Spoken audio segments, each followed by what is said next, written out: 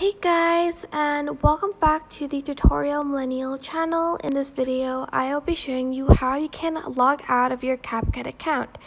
And to do that it is super simple. You are just going to press me on the bottom right corner of your screen.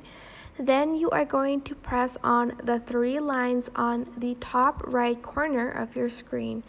Then you are going to just click sign out and that is pretty much it. To log in you can either sign in with facebook apple or with tiktok. But that is it. I hope this tutorial was helpful for you guys. Um, i know this was super short but don't forget to like comment share and also subscribe to this channel if you haven't done that already if you have any questions, just leave it in the comment section down below and I will try my best to answer them all.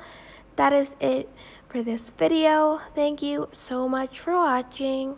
Bye!